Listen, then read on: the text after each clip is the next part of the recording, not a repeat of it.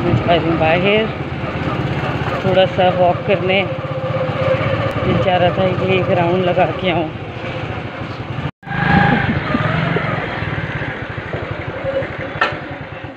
चल।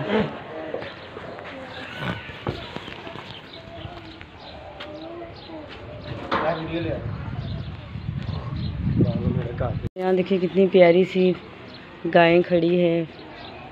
यहाँ पे हम बाड़े पे आए हैं दूध लेने। और यहाँ पे कितनी खूबसूरत सी गायें खड़ी हुई हैं।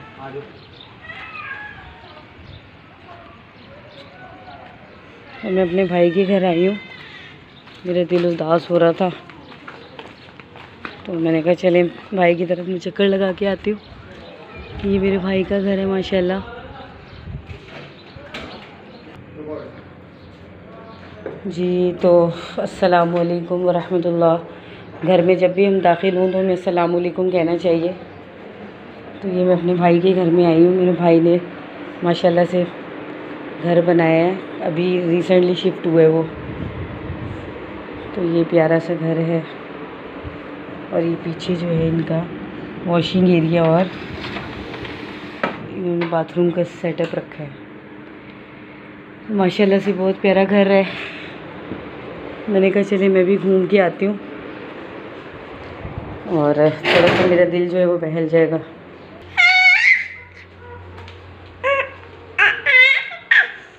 हाँ गाजी तो बहुत खुश हो रही है। गाजी को अच्छा लग रहा है यहाँ पे आके। जी तो ये बेडरूम है। और ये वाला जो है वो छोटा सा टेरिस है। यहाँ से बाहर का आप व्यू देख सकते हैं और मौसम देखिए कितना खूबसूरत हो रहा है। बादल कितना साफ़ है।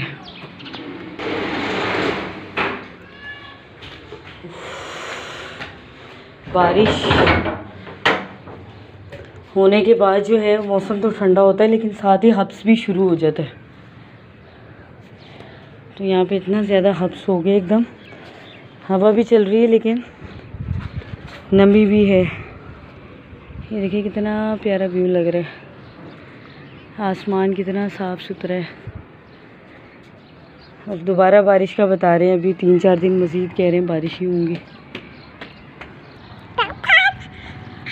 ज़िंदगी में कितने मौसम आते हैं, कभी गर्मी, कभी सर्दी, कभी बहार, कभी ख़ज़ा। इसी तरह इंसान के अंदर जब तक उसके अंदर का मौसम जो है वो अच्छा ना हो उसको बाहर की कोई चीज़ अच्छी नहीं लग रही होती। चाहे वो खुश हो चाहे गमी की हालत में हो। जब वो अंदर अंदर से जो खुश होगा ना तो उसको बाहर के सारे मौसम अच्छे लगेंगे। तो यहाँ पे जो है वो गाजिया को मैं दिखाती हूँ आपको। गाजिया भी इंजॉय करने आई है मौसम है ना? गाजिया? आप भी एक दिन इंजॉय करने आई हो। तो यहाँ पे मोहम्मद जो है वो भी इंजॉय कर रहा है। मोहम्मद, नीचे नहीं गिरना, नीचे। अस्सलाम वालेकुम माय यूट्यूब फैमिली, कैसे हैं आप सब? आई होप कि आप सब ठीक होंगे। मैंने बच्चों को नाश्ता करवा दिए नाश्ते से फ्री होने के बाद मैंने पंखों को देखा, पंखे बहुत ज़्यादा गंदे हो रहे थे। मैंने सोचा आज पंखे साफ़ कर लेती हूँ। मैं डेली एक एक कमरे का जो है वो चेक करती हूँ, लेकिन मैंने काफ़ी दिन से पंखे जो है वो साफ़ नहीं किए थे। तो आज जो है वो मैंने सोचा पंखे साफ़ कर लेती हूँ और साथ एक एक कमरे के ना जाले उतार लेती हूँ। यहाँ पे जाले उतारने के बाद आज मैंने मशीन भी लगानी है, क्योंकि कपड़े बहुत ज़्यादा इकट्ठे हुए हुए हैं। और आगे बच्चों के फ़र्स्ट से स्कूल भी खुलने वाले हैं, मैंने उनको होमवर्क भी करवाना है। तो जितना ही उससे साफ़ होगा पंखा, साफ़ कर लूँगी। इसके अलावा ये जाले हो रहे थे छोटे छोटे मैंने सोचा जाले भी साफ़ कर लेती हूँ।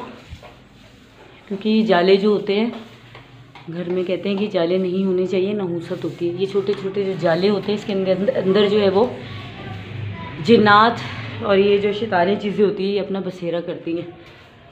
तो ये हमें अपने घर में जाले जो है वो ज़रूर साफ़ करने चाहिए। इस तरह करके मैं पूरे घर के जो है वो जाले और ये जितनी भी मिट्टी है, ये झाड़ पोछ कर दूँगी।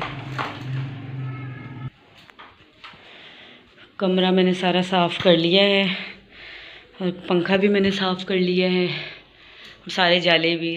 अब मैंने मशीन लगानी है और ये कवर जो है वो बहुत ज़्यादा गंदे हो रहे हैं ये। तो मैंने कहा ये उसको उतार लेती हूँ और इसको भी मैं क्लीन कर लूँगी, साफ़ कर लूँगी। और उसके बाद जो है आज मैं सारे कपड़े धोऊँगी बच्चों के, क्योंकि पहले से बच्चों के स्कूल भी खुल रहे हैं और बच्चों के पास कपड़े भी पहनने के लिए नहीं है। मैं इसकी रिमूव करती हूँ कवर इधर मैंने कवर रिमूव कर दिए हैं, अब मैं इसको वॉश करूँगी। और यहाँ पे गाजिए ने सुबह सुबह आज नाइयाँ कर ली थी। नाइयाँ करके गाजिए ने अपना नाश्ता किए और उसके बाद गाजी अब खेल रही है। गाजी की तबीयत थोड़ी सी अब बेहतर हुई है। माशाल्लाह से अब जो है इसने खेलना शुरू किया है। तो अब मैं लगा, मशीन के अंदर जो है वो पानी डाल लेती हूँ। मशीन मुझे लगानी थी, सफ़ाई करके मैं फ़ारिग हुई हूँ। तो लाइट चले गई है और लाइट कह रहे हैं कि शाम को आएगी। और कपड़े मैंने आज धोने थे, आज फिर मेरे कपड़े रह गए। तो इन जब लाइट आएगी, फिर मैं मशीन लगाऊँगी, वरना फिर कल लगाऊँगी। आई होप कि आपको आज का मेरा व्लॉग पसंद आया आया होगा।